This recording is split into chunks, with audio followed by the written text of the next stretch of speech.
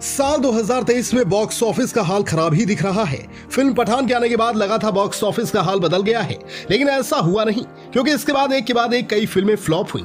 इस वजह से आने वाली फ़िल्मों ने अलग अलग स्ट्रेटजी अपनानी शुरू कर दी। वहीं कुछ फ़िल्मों का क्रेज रिलीज़ से पहले इतना ज़्यादा दिखा कि कुछ फ़िल्म के मेकर्स ने क्लैश करने से बचने लगे।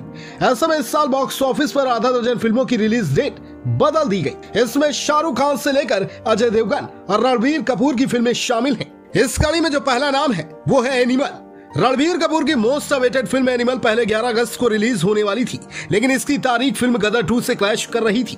इस वजह से मेकर्स ने इसकी रिलीज़ डेट आगे बढ़ाने का फैसला किया। हालाँकि मेकर्स ने डेट बदलने का कारण फ़िल्म के गानों को बताया, और कहा फ़िल्म पाँच अलग अलग भाषाओं में आएगी, और फ़िल्म के गानों को भी अलग अलग भाषाओं में शूट किया जाएगा। इसलिए इसके लिए थोड़ा टाइम चाहिए। जवान शाहरुख खान की फ़िल्म पठान के बाद जवान का बेसब्री से इंतज़ार किया जा रहा है। पहले ये फ़िल्म 2 जून को रिलीज़ होनी थी, लेकिन इसकी शूटिंग पूरी नहीं हुई और वीएफएक्स का काम भी पूरा नहीं हो सका।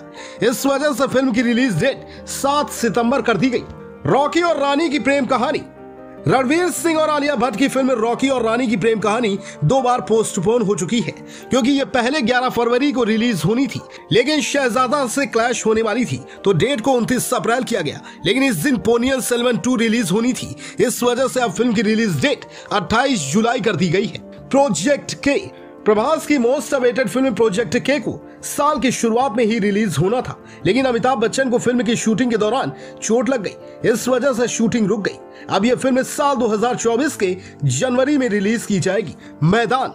अजय देवगन की फ़िल्म मैदान तो सबसे ज़्यादा आठ बार पोस्टपोन हुई है, क्योंकि ये फ़िल्म साल 2020 से पोस्टपोन होते आ रही है। रिपोर्ट्स के मुताबिक, इसकी पहली रिलीज़ डेट 27 नवंबर 2020 थी, लेकिन फिर इसे 11 दिसंबर 2020 किया गया। फिर 13 अगस्त 2021 की गई, इसके बाद 15 अक्टूबर 2021 और फिर 3 जून 2022 इसके बाद इसे साल 2023 में, पहले फरवरी, फिर मई और फिर जून में रिलीज़ करने की बात हुई, लेकिन आदि पुरुष की वजह से 23 जून की डेट भी चेंज हो गई। अब इसकी डेट अब भी फिक्स नहीं हुई है। योद्धा सिद्धार्थ मल्होत्रा की फ़िल्म योद्धा पहले 15 सितंबर को रिलीज़ होनी थी, लेकिन फ़िल्म जवान की डेट आने के बाद इसे 15 दिसंबर 2023 कर दिया गया। हालाँकि अभी भी ये तारीख साफ़ नहीं है कि ये रिलीज़ होगी या नहीं। Dream Girl two Ayushmann Khurrana की फ़िल्म ड्रीम गर्ल टू पहले 7 जुलाई को ही रिलीज़ होनी थी। इस फ़िल्म का प्रमोशन भी शुरू हो गया था, लेकिन अब इसकी रिलीज़ डेट 25 अगस्त है। आदि पुरुष बॉक्स ऑफ़िस पर फ्लॉप हो चुकी फ़िल्म आदि पुरुष भी पहले 12 जनवरी को रिलीज़ होनी थी।